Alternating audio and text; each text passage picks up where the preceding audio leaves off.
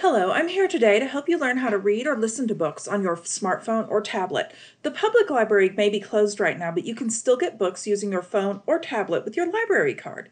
The Springfield Greene County Library has several apps for downloading ebooks, which are books you read on your phone or tablet, or audiobooks, which you can listen to with your phone or tablet. You can access these apps at thelibrary.org/digital or by going directly to the App Store or Google Play. Two of these are Hoopla and Libby. These two apps work a little bit differently.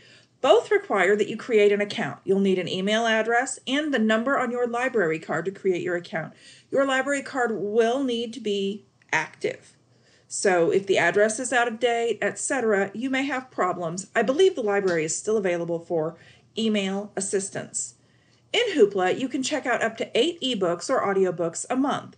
They also have television episodes, music albums, and movies available. You don't have any waiting periods or holds, but once in a while the daily limit is reached. In that case, wait until the next morning. So let's look for a book. I'm going to search for The Book Woman of Troublesome Creek.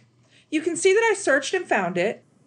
To borrow the book, I'm simply going to click on Borrow. It will ask me to confirm that I do want to borrow that book and can click to check it out. The checkout period is three weeks. You may check things out again if you don't finish them. They do return automatically, so you don't have to remember, and there's no risk of late fees.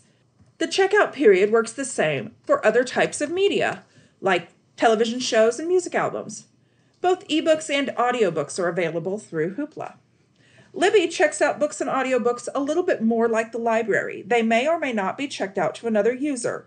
If they are, you can request a hold and wait your turn.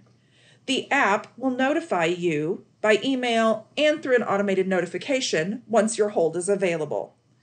If the item is available, you can check it out immediately. Libby offers both ebooks and audiobooks. In both Hoopla and Libby, you can read or listen within the app. In Libby, you may also send an ebook straight to a Kindle device. You can choose to return your book early if you're using Libby when you finish it, so someone else can check it out. Otherwise, as with Hoopla, Libby will return your books automatically. In both Libby and Hoopla, you can do things to make your book more accessible. If you're reading an ebook, you can increase the size of the text to make it more readable. In audiobooks, if they're a little too quiet, you can consider using an external speaker or headphones to allow for more volume than your phone or tablet may allow. We hope this lets you make use of your library even while their doors are closed.